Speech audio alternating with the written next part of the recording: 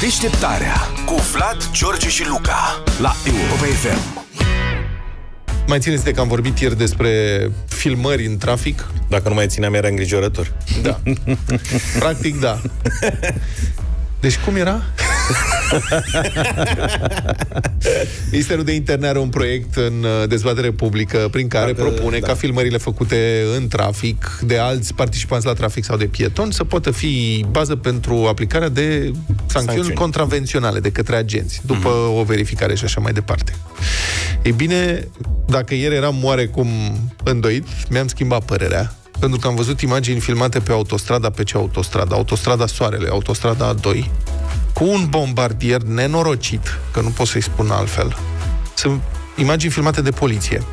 Deci e un domn care vine pe banda a doua cu viteză foarte mare, direct în spatele al cuiva care mergea regulamentar pe banda a doua.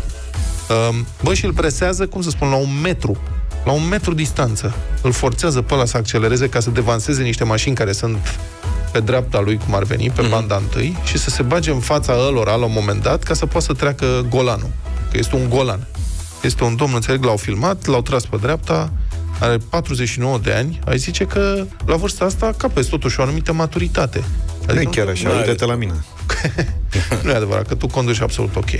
Nu Dar mai ce, tu n-ai pățit niciodată? Adică... să mă preseze din spate? Da. Da, dar nu, nu i-au tras Eu nu pe mă dau la o dreapta. parte orice ar fi. Bă, mai bine te dai. Nu. Dacă ai unde să te dai, dă-te, ce nu te pentru că dai? oamenii sunt Ce? nebuni. Că nu vreau. Îi las și pe urmă iau ei pe banda Știi ce e de mai urgență. dificil? Că trebuie să te dai, trebuie să ai grijă și de nebunul din spate, că nu știi cum reacționează. Și trebuie să te dai în condiții safe pentru amândoi, Asta cumva. e. Pe asta spun și atunci Deci nu o mă manevră. dau. Mie E o mi se man- pare mai safe așa. E o manevră care e mai complicat de făcut la viteze foarte mari. Pentru că trebuie să te bagi în fața coloanei care e pe dreapta ta și să calculezi astfel încât să nu-i sperii pe ea, să nu le tai fața. Exact. Și doi, când te duci puțin mai în dreapta, mai în față ca să ai loc, să le lași loc celor din dreapta, să te uiți și la dobitocul din spate, ca Da, nu da, care da. cumva să te bage ăla pe dreapta, Asta zic, știi? cel mai bine, adică sfatul meu pentru participanții la trafic e când au de-a face cu dăștia să-i lase în pace. Îl ignori. Ăla dă flash-uri, claxoane, face ca toate maimuțele la Și dacă se apropie în spatele Băi, tău și te atinge la un te moment dat. lovește sau încearcă să se bage Hai pe mă, fii dreapta. serios că nu te atinge nimeni. Fie și Dacă din te atinge, greșeală. ce? Du- Ei numărul și sun la poliție. Adică- Dacă te atinge la 160 de km pe autostradă, Nu prea mai ai timp să suni. Eu n-am Nu văzut știu dacă oricum mai- până acum posibil, Noi n-am auzit de așa ceva să fie atins, că în general ei știu ce fac. Știi care mai este o problemă? Când te talonează în felul ăsta? Când apare o problemă, când apare un incident în fața ta Aia și da, trebuie să ferească frânezi. Dumnezeu, da. Acolo e cu deces.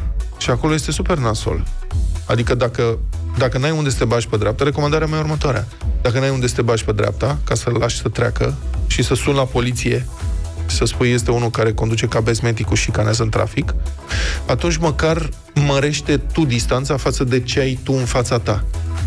Astfel încât, dacă ăla din față se oprește la un moment dat sau frânează mai brusc, să poți să frânezi mai ușor Da, da.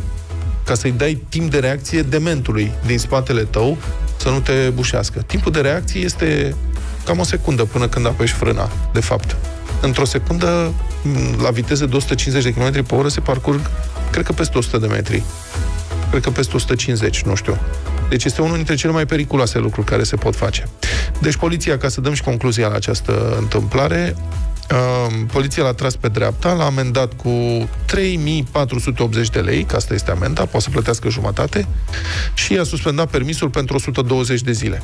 Din punctul meu de vedere, astfel de personaje care comit tentative de omor, că asta este amenințare cu armă, mașina este o armă și tentativă de omor, trebuie să rămână fără permis pe perioade mult mai lungi. 120 de zile mi se pare puțin.